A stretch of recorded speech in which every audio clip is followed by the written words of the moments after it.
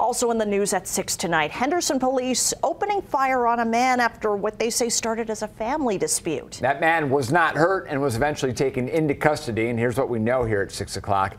Henderson police say the man was causing a family disturbance and was suicidal. A caller told 911 the man would ignore officers and tell them to, quote, shoot him. When officers arrived, they say the man was outside the house and produced a long gun. Gunfire was then exchanged.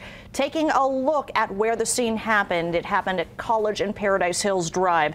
Then on nearby Vista Serrano Court, we've now learned that a fire investigation related to this shooting is now underway. Fox 5's Regina Ahn live at the center of it all. Regina, what can you tell us?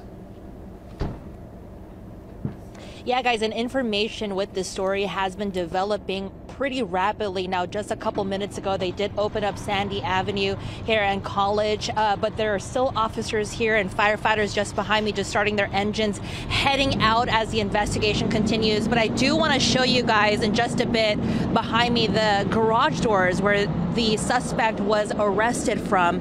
And as you can see uh, from our viewpoint, uh, these firefighters just heading out for the day. Police, of course, giving us that update that the suspect's family gave police a call and the suspect was shot at but did not get hit and is not injured and neither is any of the uh, neighbors as well. Now here's a video we got from a neighbor earlier this afternoon. Officers positioning themselves outside of the home while he exited through the garage and some point after the suspect was arrested the home was up in flames as you see.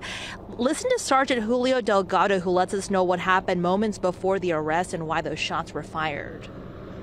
The caller stated that the subject would fight officers and force the officers to shoot him. Arriving officers encountered the male outside the residence. The male produced a long gun.